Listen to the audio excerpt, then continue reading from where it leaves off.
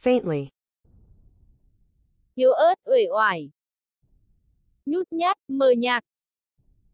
faintly, faintly. She looked faintly surprised at my remark.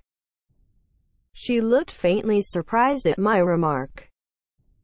She looked faintly surprised at my remark.